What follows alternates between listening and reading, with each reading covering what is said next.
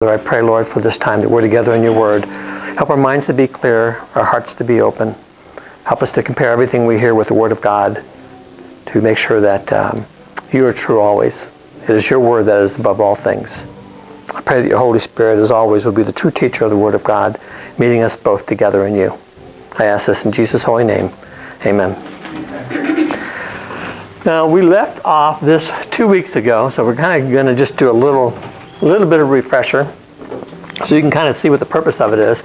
now, probably the first important thing um, as we moved through it last, last uh, two weeks ago was to remember that this is a prophecy, okay? This is a prophecy written 800 years before Jesus was born. That's really important to understand because the prophecy itself comes out of, um, where do we put it up here? Isaiah 2, oh, here it is. No, it's not it. I can't remember what's that. Isaiah uh, uh, uh, 11, 1 through 2. Probably should put that up there, huh? Oh, it's right there. Okay, that's what we're, and, and there's a purpose that we're studying this particular one because this is really where it comes out in, in Revelation. So let's go back to Revelation 1 4, which is the basis of this, okay? So Revelation 1 4 says, little tiny words here. Um, yeah. Uh, John to the seven churches in the province of Asia, grace and peace to you from him who is, and who was, and who is to come, and from the seven spirits before his throne. Now, this is the pur- purpose of it is that this is where the seven spirits are okay and so it's talking specifically in this verse about jesus christ okay it's a prophecy um, that um, that Jesus Christ would use the power of the Holy Spirit and that he would have it with an infinite amount of, uh, uh, he, he would have it with, without measure. Okay? And that's really important. So we went through it from that, this is right here, Isaiah uh, 11, 1 through 2. And we went through it where it actually tells us what these seven spirits are.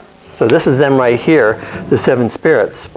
Um, what's important about it is to is, is, a couple things. One that Jesus Christ in this verse um, it has uh, the seven spirits. Okay. And two, he has them without measure. And I use the, uh, the infinity sign here that there is no measure to this. Now, this is really important uh, to us because uh, we talked about it two weeks ago. What's important about this part right here is that many people think, kind of logically, that Jesus Christ used the power of the second person, right? The first, second person of the Trinity is who? Jesus, yes, the Son of God. Okay? It's the Son of God. Okay? Son of God. And that's the second person. Who's the first person? God the Father. And the third person is the Holy Spirit. Okay? So most people would think that the humanity of Jesus used that power. Okay?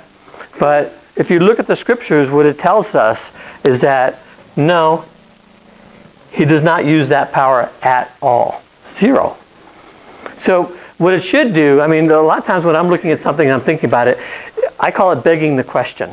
Sometimes you'll run into something in the scriptures and you go, well, that's weird. Yeah, that doesn't make sense to me, you know. And I call it begging the question. You see something and it, it goes, well, that doesn't make sense. How do I reconcile that? How do I, how do I make those things fit? And the only way you make things fit is kind of what we're doing here. You have to actually search the scripture for the doctrine and then overlay that doctrine on things so you find out what it's talking about. So that's why we're taking Isaiah 11 and we're putting it over Revelation 1 4 to understand what parts it's talking about with Jesus Christ. Okay, this is one of the very few pieces. You could also do this from the other side about just knowing that Jesus did this, but a lot of people do not know that it is Jesus Christ used only the power of the Holy Spirit. Okay, and he had a very specific reason for that. Um, and one of, the, one of the purposes of it is, is to understand that, and this sounds, this sounds stupid, but I'm going to say it. Most people, most Christians um, almost deny the humanity of Jesus Christ. Uh, they know he's a human being, but what they don't do is they actually don't understand why the Father did what he did to Jesus Christ. I mean, we know a couple things that, uh, that, that it is the Father who put Jesus Christ on the cross. Okay? Men assisted that, but God the Father put him on there. Okay? Um, and he put him on a very specific reason, obviously, so that he could die for our sins. Okay? Um, so, and he didn't put the deity, he didn't put the second person on the cross because, one, the second person wouldn't fit on the cross, right? If, if, if you know who God is, um, it's this piece right here, these pieces right here, and, and the part that causes him problems of being on the cross is this one right here, right? Omnipresence. Omnipresence just means that God is everywhere. And if God is everywhere, he can't be put to a cross. He can't put, be put to a place. Okay? So that's, that's the point. So Jesus Christ had to become a, a human being in order to die because God can't die either. Okay, so it tells you a lot about that. Another reason that Jesus Christ had to be a man is because whenever you have um, a relationship between two things, like God and humanity, you have to have an intermediary between them. That's somebody who can negotiate on both sides. In order to negotiate properly on both sides, you actually have to represent both sides. Okay? Now, if you think about an angel, an angel could not represent human beings. He doesn't have the ability, he doesn't understand us, doesn't know us, any more than we understand and know him, them. Okay? So it has to be a human being, and that human being is Jesus Christ.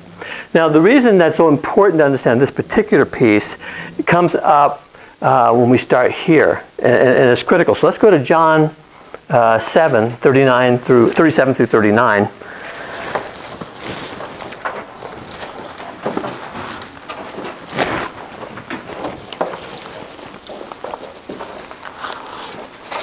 It's going to tell us a bunch of things that may not make sense, but we'll make sense of them. It's on John 7, uh, 37 through 39. It says, On the last and greatest day of the feast, Jesus stood and said in a loud voice, If anyone is thirsty, let him come to me and drink.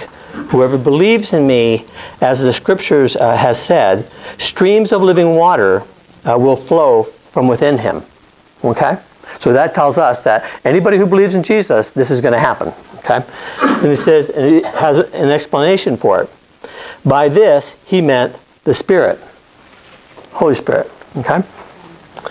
Um, whom those who believe in him were to later receive. See, this tells you a couple things is that the later is Christianity. He's telling you that later because the people at the speaking of this thing were still in the time of Jewish, Judaism. They were still in the age of Israel. So they did not have this.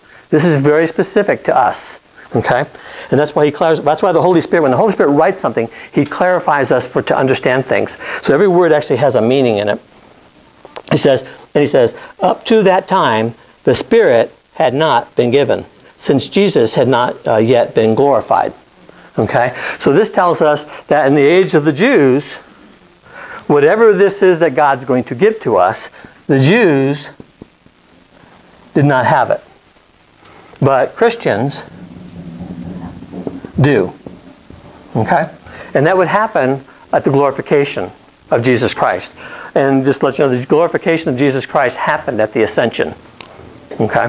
When he, when he went up, presented his gift of his sacrifice to God the Father in the temple that is in heaven. There, there is a temple that is in heaven. A, in fact, the, the temple that's in Jerusalem is a replica of the one that's in heaven. Okay? So when he talks about that, that's how you differentiate. In fact, you'll see times when, when David's talking, David will talk and he will pray to the, to the, to the temple in heaven. And there's times when Daniel will and, and other people do. So, um, but it's really specific about this thing. So this lets you know that we have this, and uh, which is really important. Let's go to the next piece. Um, because it lets you know they didn't have it, we did have it. We had it after the ascension. All believers in Christianity. This makes a lot of sense of, of, of books like um, uh, Romans chapter 8. If you're familiar with Romans chapter 8, it says, anybody who does not have the Spirit is not saved. Okay, so um, that should actually that should actually beg some questions. Okay, one of the questions should be, as a Christian, is that if I do not feel, not feel like feel feel, if I do not feel or see the presence of the Holy Spirit in my life, I should be concerned. Right? Okay, um, because that's not how God designed it. God designed us just like Jesus Christ. He designed us to operate within the Holy Spirit with these seven spirits. Okay? So that's how we're designed. That's what God's plan is. And this was all planned by, uh, just so you know, uh, we talked about it before, but God the Father is the planner. Okay? He's the planner of everything. Um, and, and that's easy to figure out because we've talked about that once before. How do we know that God the Father is the planner? Well, we know that it is God the Father who made Jesus go to the cross, right? It's his whole plan. Uh, this, this, the, the, um, the Father sat there and said, um, okay, so uh, I'm going to make the plan. Jesus, guess what? You're going to be the one who implements it. And Holy Spirit, you're going to be the one who has the power through this whole time. Okay, through this whole time, the time that we're in now. So um, that's important to know the seven spirits were given to, to him as a gift, just as they are given to us. Just like that verse says, it is given to us also. This is the part where in, in John where Jesus talks about it and says, the Holy Spirit hasn't come yet, but when he comes, he will help you understand things. He will reveal to you all the things I have told you. Because the problem was that they didn't have the ability to understand them, if you remember that. Um, this helps you understand why you, um, you look at something like Pentecost I mean, if you look at Pentecost, Pentecost happens 50 days after the resurrection, right? 50 days. Okay, so at Resurrection Sunday, which we just celebrated, okay, where are the disciples? Hiding. Hiding, that's right. They're, they're terrified, right? They're all hiding. Lock the door. Lock it good. Nobody can get in that door except Jesus kind of walked through it. But um, so you see that you see them as, as essential um, cowards. This this really helps you understand a lot of things. It helps you understand that the disciples did not grasp everything that Jesus told them about, right? Because how many times did Jesus say, "Guess what? I'm going to be put on the cross. Three days later, I'm going to die. I'm going to die on the cross. Three days later, I'm going to rise." How many times did he say that? Over and over and over again. So you would think that a good Bible student, like the disciples should have been, would have been sitting there and say, "Good, this is uh, well." See, I call it Good Wednesday. Everybody calls it Good Good Friday, but I call it Good Wednesday because one Friday is never mentioned in the Bible, and the only way that you can have three nights and three days is the crucifixion has to have happened on Wednesday. But that's here and there. So you would think that they were sitting there and going, "Okay, three days, three nights." Let's set the clock. Okay. And they should have been waiting at, at the grave. Wait, wait, he's coming. He's got to be coming out, right? Have expectations. They, huh? They had expectations. They should have. He's told them over and over and over again, right? You remember that in the, Old, in the Testament? He tells them over and over again. Yet, they're not there. So it tells you that they didn't get a lot of stuff. There's a lot of stuff that they missed that Jesus told them. And uh, in fact, Jesus was so, um, so patient with them. If you remember, uh, how many times did he ask them if they wanted the Holy Spirit? Like three times? He said, they, he said, well, if you know, if you want, I'll give you the Holy Spirit, and then you'll understand all this. And what do they do? Nothing. They don't say a word. Okay. Uh, so finally, Jesus gets fed up with them. I think he does, and, and he just says, "Okay, listen to me. I'm going to breathe the Holy Spirit on you, so that you'll get, so you'll." And remember what this says? He breathed the Holy Spirit on it, and they understood everything. Okay, that was before Pentecost, though. So that was that was not a permanent one. This is 50 days from here. That was not a permanent one. He did that back, uh, back over here somewhere. But he told them to wait here for, um, wait in Jerusalem, right? Wait in Jerusalem for the power. So he tells. He tells them in Acts chapter 1. So at that time, you see the Holy Spirit come down. This is, uh, this is called, also called the first advent. It just means the coming of the Holy Spirit. Okay? And all of a sudden, you see uh, Peter on fire, powerful. You know, everything you see from this moment on is nothing but power, nothing but truth, nothing but they're perfectly willing to stand and die. Okay? So, why is that important? Why is that important? Applies to us. Applies to us. I mean, do, do the reason the important part to us is that we get this. This is ours. You have it today. Okay? It's in you. Okay? And um, the problem is you probably don't recognize some things in it. Let's read the last piece of this thing here, and we'll, and we'll go through some of the recognition piece of this. But the important part is, is that this is in you, and it is operational. There are things that make it inoperable, okay? Because there's two things that are kind of confusing. One is called indwelling, and the other is called what? Filled. These are two very different things. Okay? Indwelling you have when you're saved. Everybody has it. The moment you get saved, God the Holy Spirit puts a temple in you called the temple of the Holy Spirit. And in that temple resides Jesus Christ. That's why it says we are in Christ. Okay? He, he, it's, it's very similar to the temple where you have the Holy of Holies and you have the Shekinah glory. You familiar with the Shekinah glory? the Charles, yeah, yeah. Shekinah glory was the in the in the temple. There was only two lights. You, you, they never allowed to have any natural light come into the temple. It was they had to have the uh, menorah. They had to have the, can, the, the candelabras with the with the lights in it because the purpose was that uh, natural light was not acceptable to God. So God had to have the seven stick candles and they, and, and they lit them. That was the light that was in the temple. No natural light was allowed in it. The only light that was allowed in the Holy of Holies was what? Shekinah glory.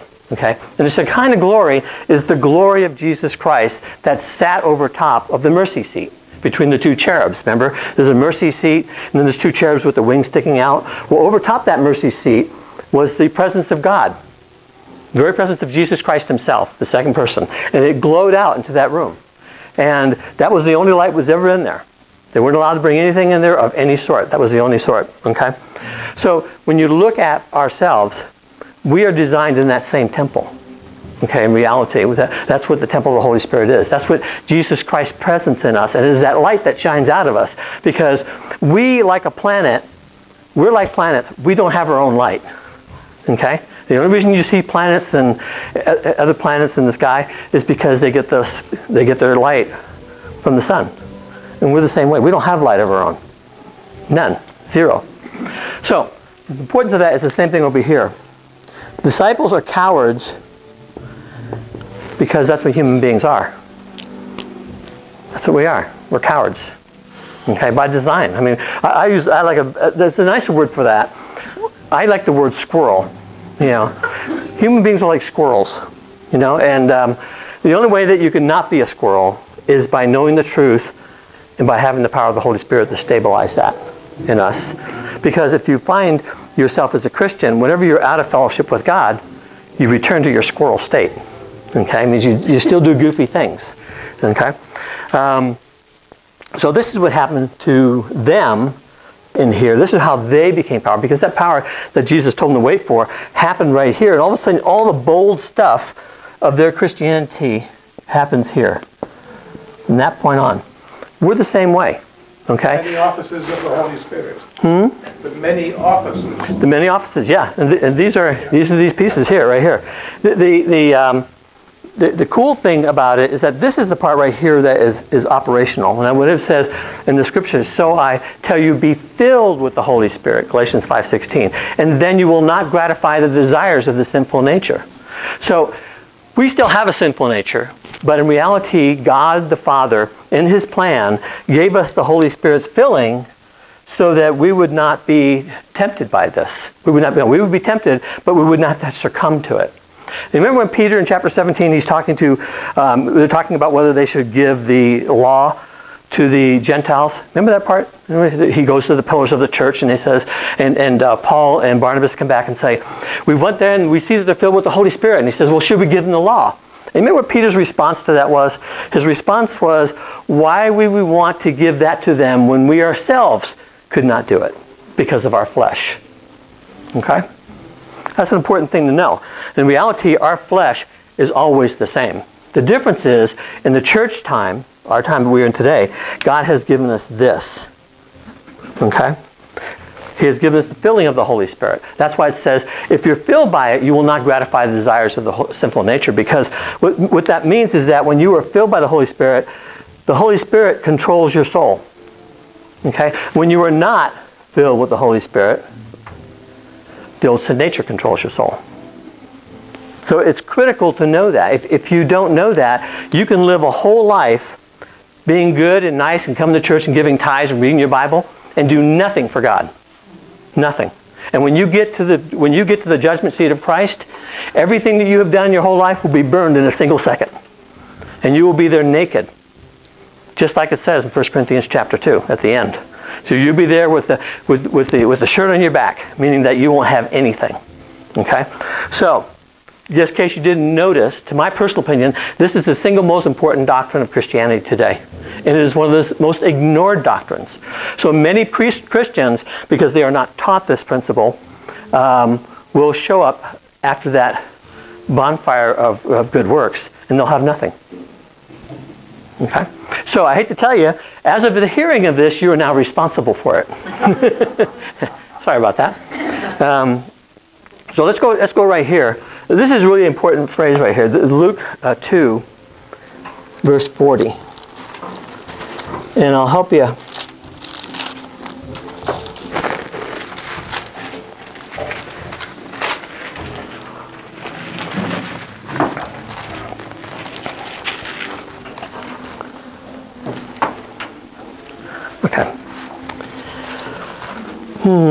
Okay, where is that verse? There it is. Um, and the child, talking about Jesus as a child, grew up and became strong. He was filled with wisdom and grace, and the grace of God was upon him. That, that's, the, that's the Holy Spirit. Okay? Now, that's not the Holy Spirit like the omniscience part, uh, omnipresent part. This is the Holy Spirit like this, the fulfilling of Isaiah 11, 1, 2, 3, 1 through 2. Now, how old is, is Jesus here? Does that mean he's 12? Yeah, he's 12. He's a child. He's just a kid. Okay? So it tells us that um, he had that and that the Holy Spirit was part of that. So let's go to verse 46 and 47, and we'll see how the operation of that.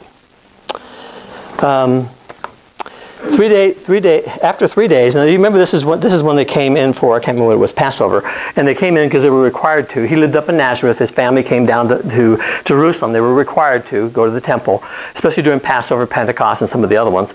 And what happened was that they left thinking that Jesus was with the other parts of the family because they did this in family groups. Okay, and where do they go? They they they're gone. All of a sudden say, "Where's that Jesus kid?" You know, they can't find him. So they freak out, they go back and they start looking for him, okay?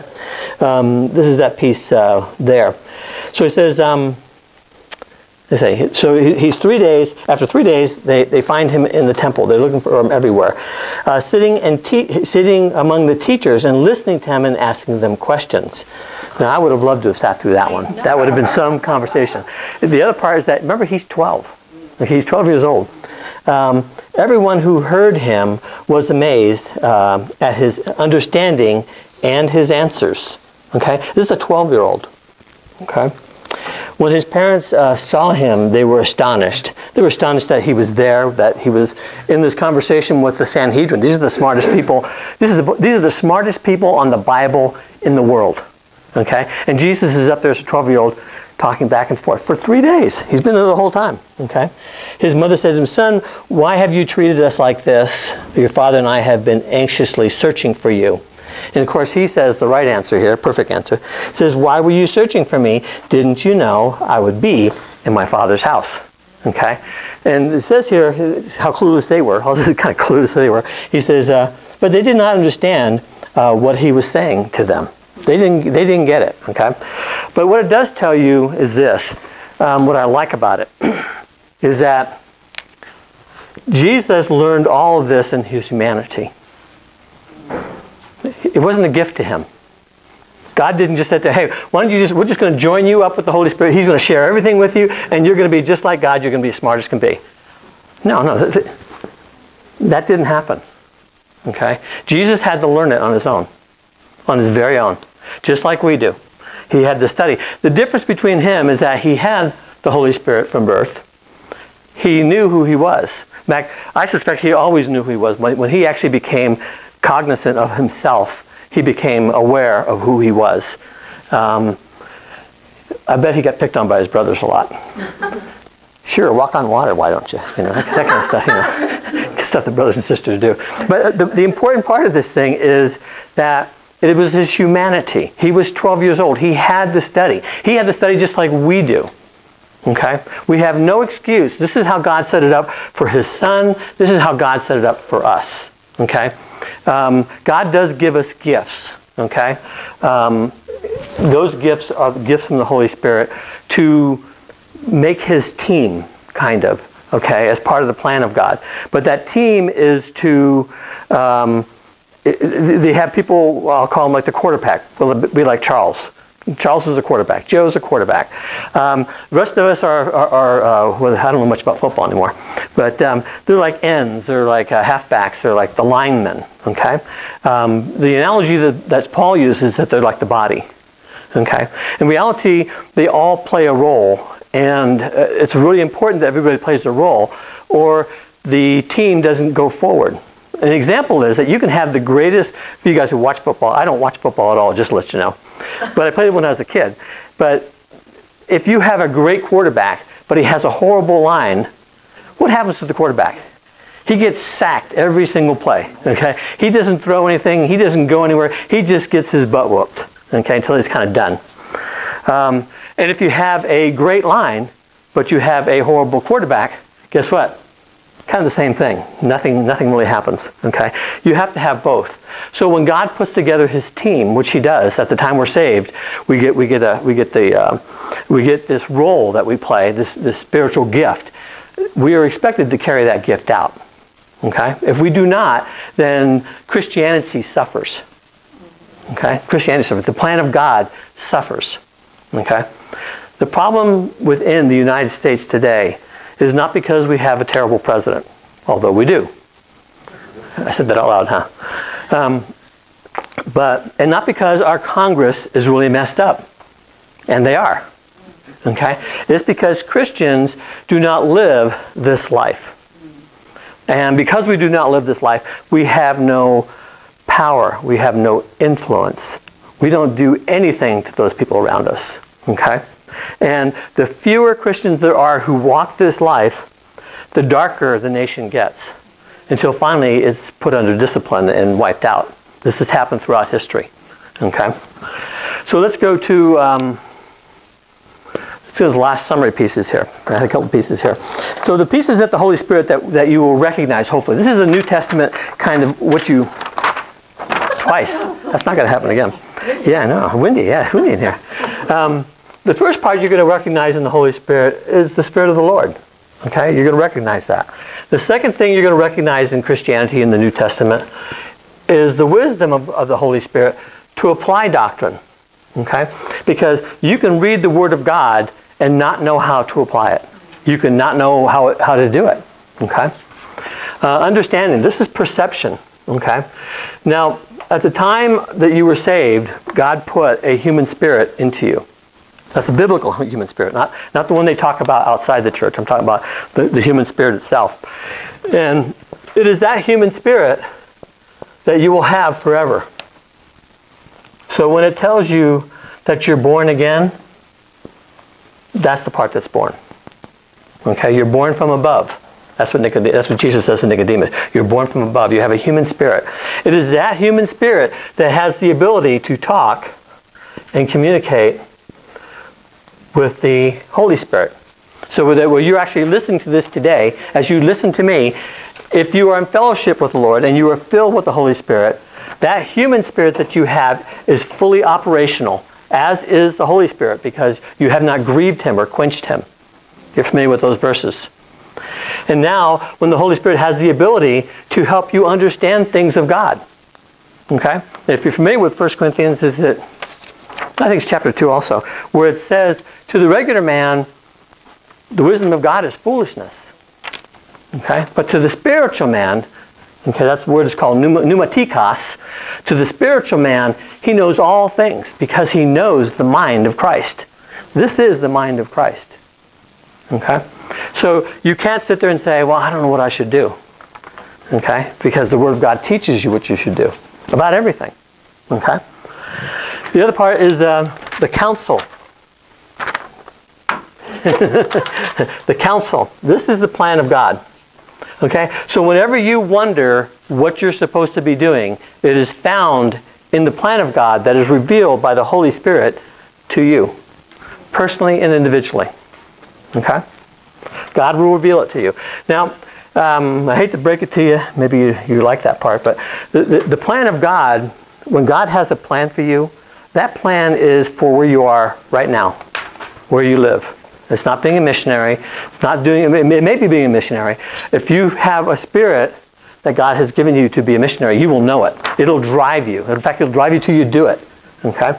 Same thing with uh, being a pastor, being a teacher, or even being a helper. People who help, they look like they help too much. It's because they, they have that spirit. It drives them crazy. They have to help. Um, and, and, there's a lot of other ones like that. But this is where you find that. This is what the Holy Spirit does. He, he's the one who reveals God's plan to you. If you do not do the plan of God for your life, Christianity as a whole suffers. The United States suffers. Your family suffers. The country and the city suffer because you didn't do your part. Okay? That's how God's plan works. It works through us. And when we don't do our part, when we don't recognize this plan, sometimes we look at something and we say, oh, I want to do this, and we do something completely different. And you can usually tell when we do that is because you have a disaster you usually follow it pretty quickly. If you, um, when you make decisions on your own, you kind of do what, um, what David did. Remember what David did with Bathsheba? Where was David supposed to be when the Bathsheba incident happened? He's supposed to be at war. That's right. He was supposed to be out there with the army. Okay. He said, ah, you know, they guys have that. that you know, they have that. Uh, what's his name? Uh, Joab. Joab. Yeah, Joab. So I was trying to think Joab. Yeah. Joab. He can take care of that. Yeah, he can do all that stuff. I, I can be up here. Okay. That's called being out of the geographical will of God. When you find yourself out of the geographical will of God, it means that you're not supposed to be there. Okay. Um, when uh, Jonah was on the fish going towards Tarshish, on, on a ship going towards Tarshish, what was he doing? running away from the geographical will of God. Where did God want them? Yeah, in Assyria, right? So finally, God had to send a big fish, swallow them up, chew them up, spit them out for a couple days, and toss them out on the, on the shore. And then finally said, okay, I think I'll do it. You know, but God had to intervene to get him in the geographic will of God. So this is why you don't make decisions on your own. Okay, you don't make decisions on your own. Um, virtue. This is this piece. Now, hopefully, we all know what this piece fits in, right? We are virtue producers. That's what we do. When we walk in the Holy Spirit, we produce virtue by, by, by, by virtue of that. Okay? You can't produce virtue any other way. Okay? You, you can't. Um, so you have two pieces. God's given us two pieces here. He's given us what's called a motivational virtue and a functional virtue. The motivational virtue is when you desire to do God's will.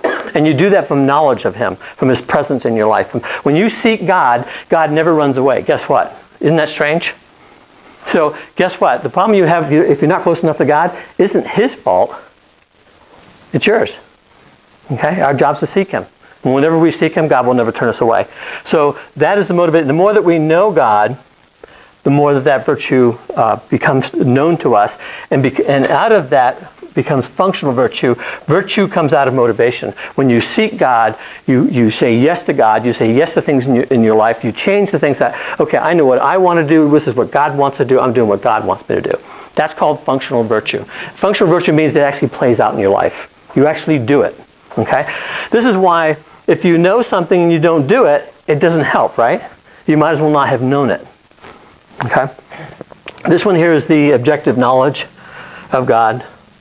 Uh, this is uh, objective knowledge of God. This is knowing what God's uh, doctrines. This is Bible doctrine, is what this is. This is the doctrines that you know. Um, a, a, good example of, of, of, doctrines that you know is that when you when you have something um, that you think God wants you to do, uh, you run it past the doctrines that you know. That's why important. Doctrines are principles. That's what they are. They're principles that God teaches you from taking them out of the Word of God, out of all those nice stories. You know, uh, I hate to tell it to you, stories are really nice in the Bible, but God does not want you to know the stories. He wants you to know the doctrine because the stories are really hard to apply, right? Most of us aren't on ships. Most of us aren't called to go to Assyria. Uh, most of us aren't talk, uh, called to go and preach to the kings. Okay?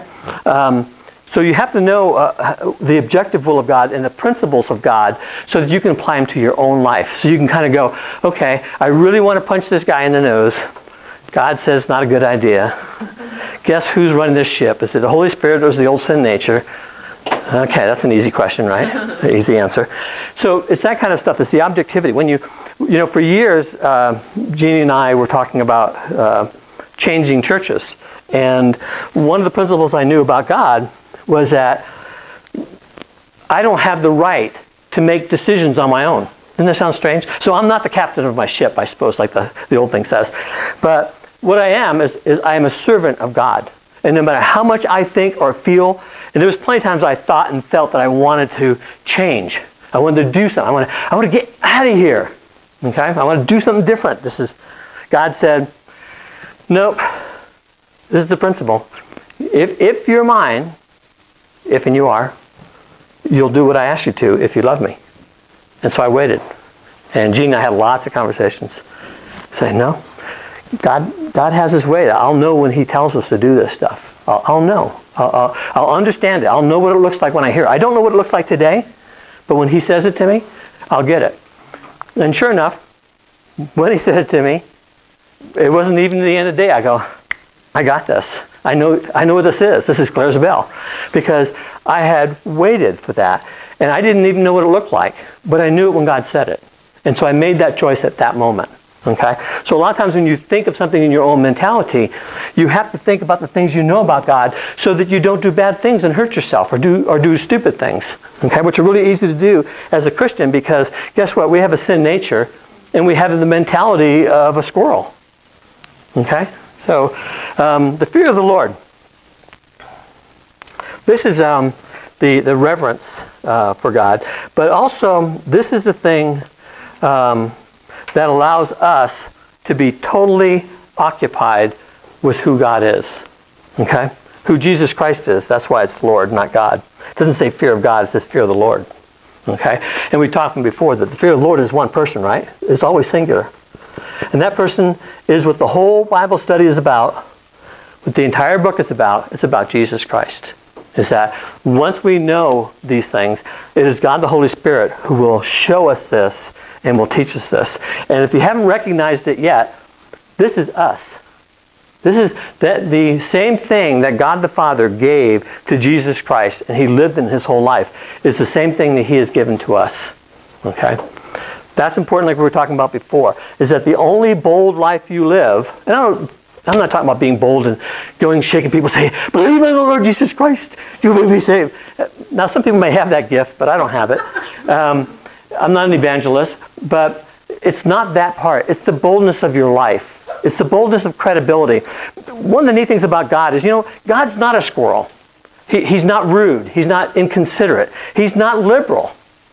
He's not. If you look at who God is, God is very conservative. He's very patient. He's very clear. He's very exact. He's very stable. That's who He is. And guess what we're supposed to be? Just like Him. Okay? So when you when you fall when you find yourself doing things that are uh, not stable, that are um, emotional, weird, you know that you have violated this right here because God's not like that. Okay? He's not like that. So, let me see if I have anything else missing here. Okay, my whole point with that was if you do not know your mission from God, you can't complete it. Okay? You can't complete it. And the only way that you can complete it is by knowing God's Word and by having the Holy Spirit do this same assistance that He did with that 12 year old. Okay? Because that 12 year old was the humanity of Jesus Christ. His deity knew everything. And we're just like that. It is our humanity that must be taught this, that must have this allegiance. Okay? We are as responsible as Jesus Christ is. And we have the power that Jesus Christ has. Okay? But the power that we have is not to go out and heal the, well, maybe heal, not for me anyway. the power that we have was, is within that plan that God has. Do you ever wonder why? You know, he was in the desert, Jesus in the desert, and he's on top, uh, Satan brings him up to the top of the temple, and Satan says, you know, jump off. Ahead, jump off. You know, and he quotes a verse out of Psalms. He says, and the angels will come down and pick you up so that not even your toe will touch the ground. And what does Jesus say? Remember? Very, very tempting verse, isn't it? He's the Son of God. He's the most powerful person in the world in the whole universe. What has he said? Do not tempt the Lord your God. Hmm. Interesting. Do not tempt the Lord your God. Which means that it's not that that is one he was correcting Satan on his on his doctrine. What Satan was doing was misapplying a doctrine. Okay? Misapplying the Word of God. And what Jesus was telling him is that, you know something? God's not unstable. God's not weird. God does not want me to jump off of here. That would be rude. That would be wrong. God's stable. And so he was correcting him on that. And that's how he is with us too. God teaches this stuff to have our lives be stable exactly where we're at. Okay? So let's move on to verse 5. Any questions?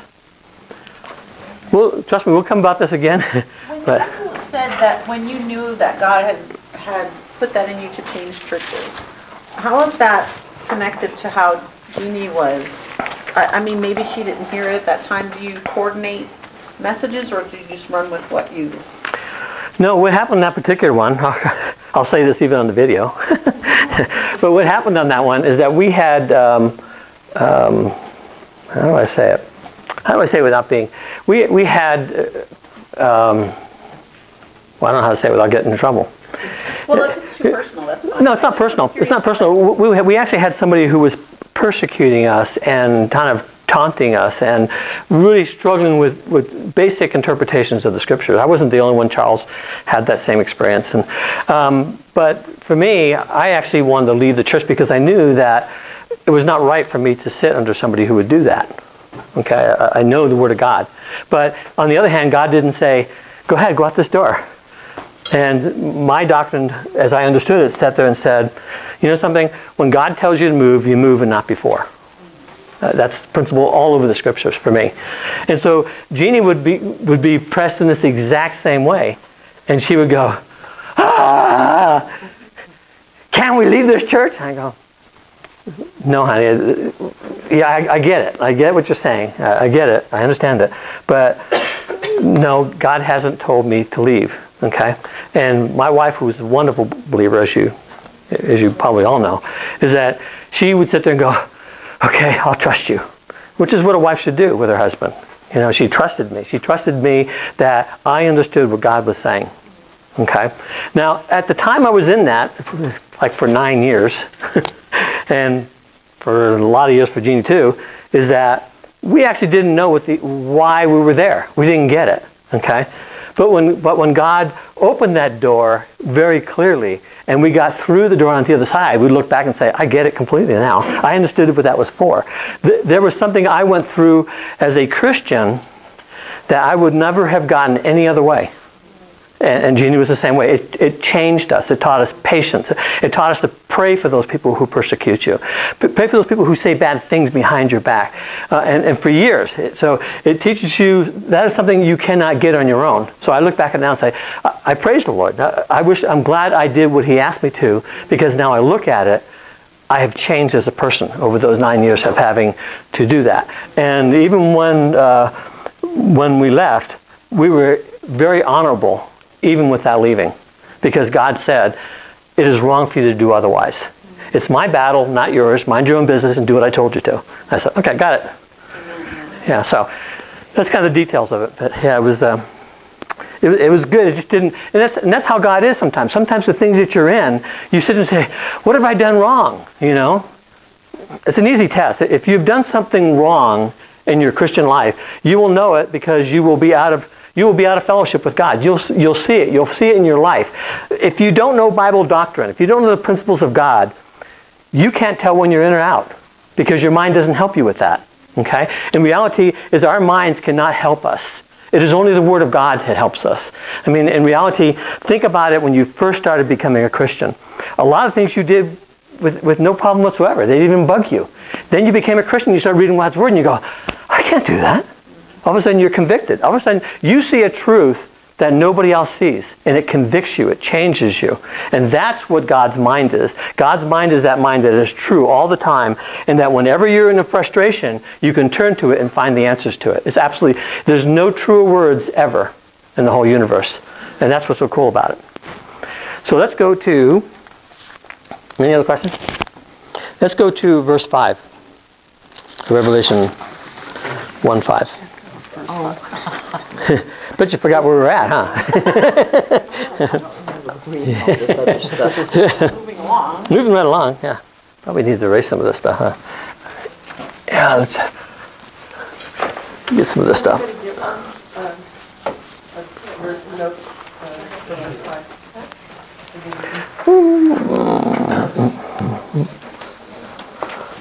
So just give me a second. Yeah, clean slate. It actually helps me. Uh, I avoid writing things if there's things all over the board, so I apologize for the. And as you can see, I'm a person who has to write things.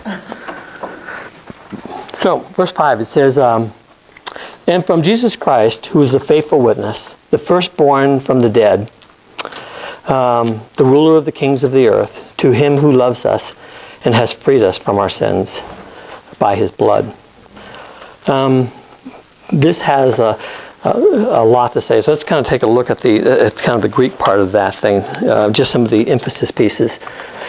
um, let me see what's in here. The the Jesus Christ part is obviously humanity is Jesus, Christ is his um, is his appointed title.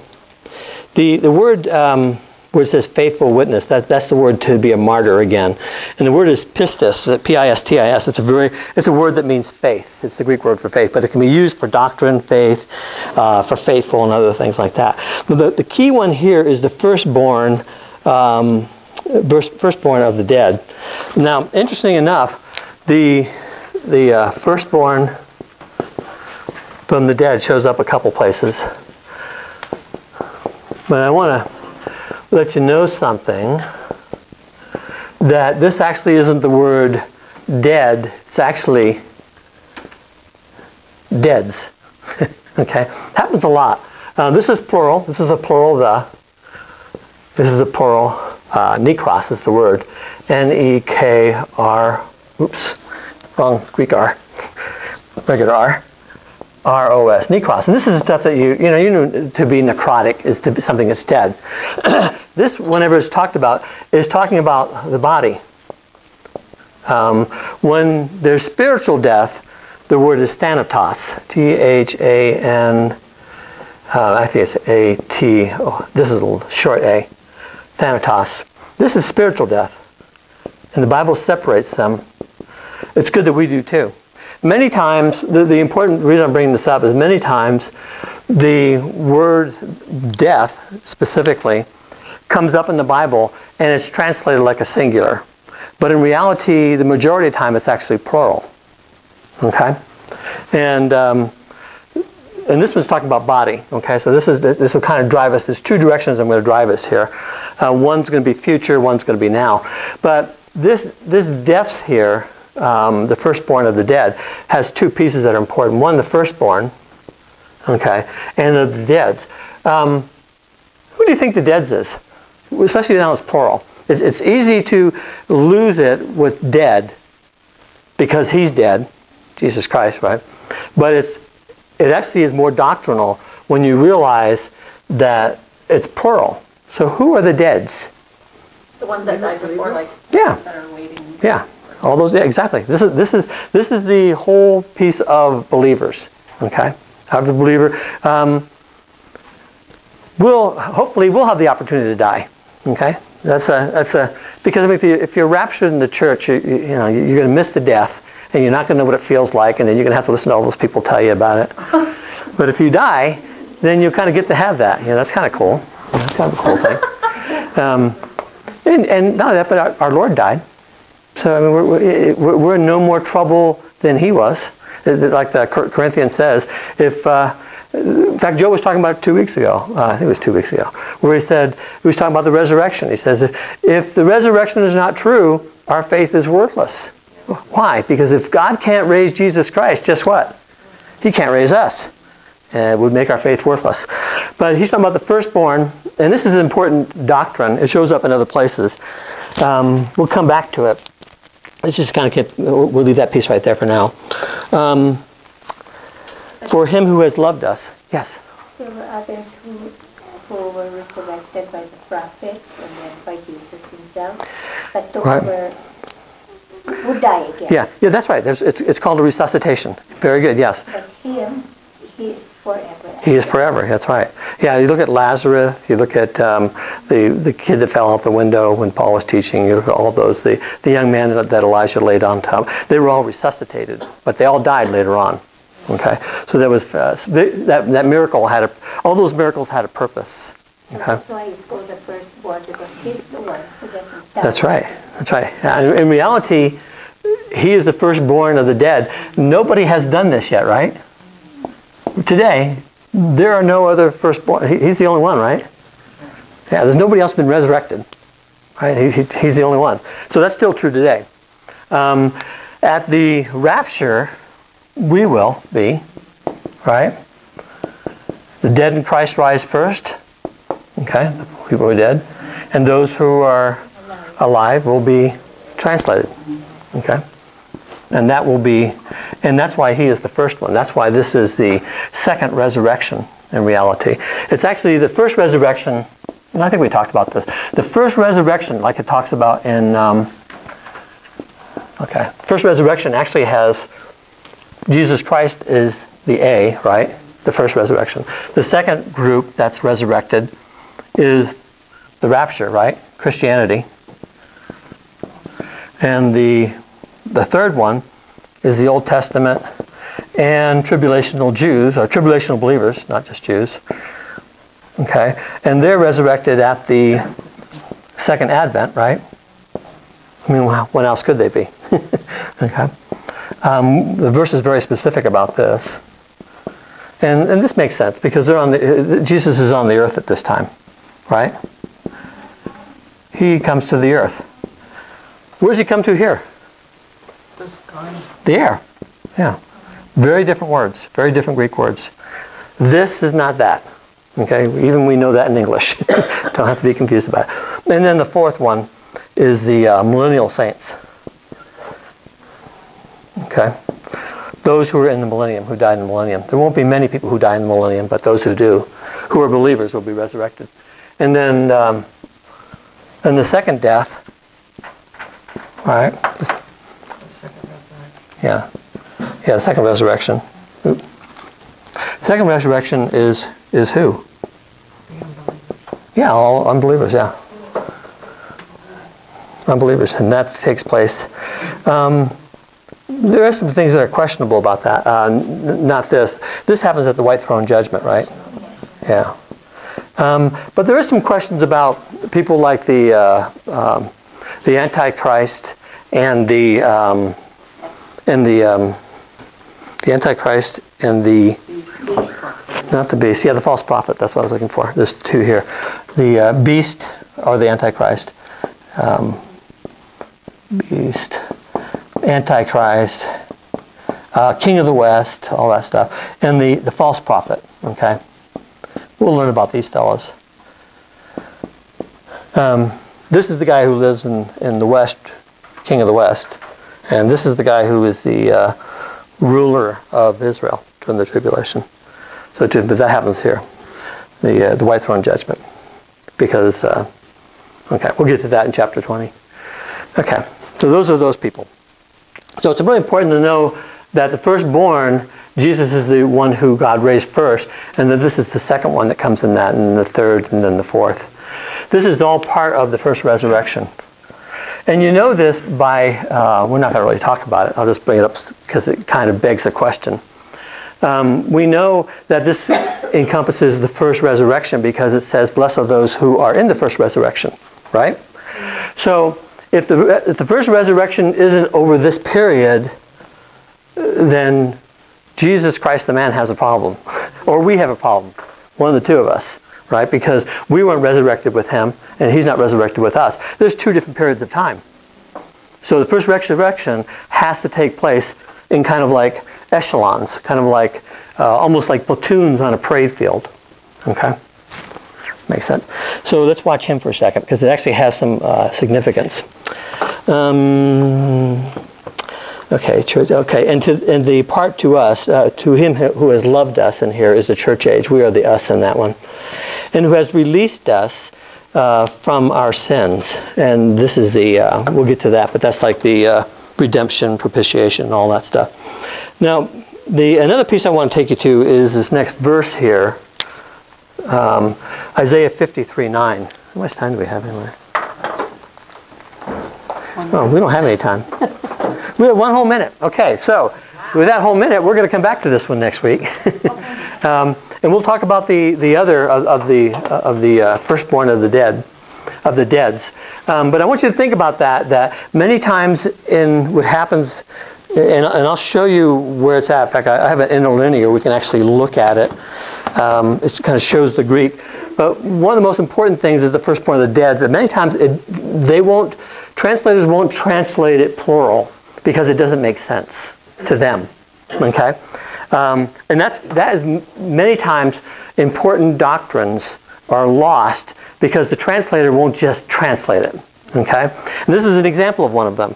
If you looked at this, you could think that was referring to him, but once you see it's plural, it's clear he's talking about all believers. Okay, um, this will also happen here uh, again, where the word dead is again talking about Jesus is dead. When it says Jesus is death, it is not death, it is deaths. And because the translator won't translate the plural, it messes up a lot of people's doctrine. Okay? We'll get back, to that's kind of an interesting thing, but we'll get back to that next week. Um, any questions? Let's wrap it up. This might be off the, off the topic, but the people that died before, like Isaac, Abraham, and things like that, that Jesus, when he died, went down, The paradise. were they suffering during that time because No. there was no kingdom, or there was, there was no Jesus? No, no, not at all. Because they experienced a live death, uh, whether they were beheaded or, Right, no, they didn't at all. Uh, And the only difference between us and them is that they were looking forward to Christ, we're looking back. Okay? But the, the, the death of Christ on the cross, there's a verse that sits there and says that God showed his mercy by not, um, what's the word he looks for? By not calling to account the, the sins of men before the cross. Because he had the right to do that. But because the death of Jesus Christ, when God pronounced it to be true in the scriptures, he pronounced it to be true as true as anything will ever be. When God pronounces something, an example is that was that when you look at Revelation, it's the future. But because God has written it, it's actually what would be called the historical future. Okay? It's history, it just doesn't happen yet. But it'll happen exactly the way. So when God put Jesus on the cross, even though he had not died yet for those sins, God reserved those sins and held them until the actual cross took place. So yeah, theirs was the same as ours. The difference is that, that there was a place called paradise that God kept them in because no human being could come into heaven until Jesus Christ did. Okay? So let's pray. Dearest gracious Heavenly Father, Lord, thank you for your great and wonderful love for us, that you have done so much for us. I pray by reading your, your, your word, Lord, by testing your Holy Spirit, that you will show us exactly what you have in mind for us. That plan that you have put before each one of us since the beginning of time, that we will not miss one piece of it, that we will do what you put before us, and have the glory uh, forever of that, uh, of having done what you asked us to, just like Jesus Christ. I ask it in his name who did it perfectly. Amen. You're welcome. Thanks.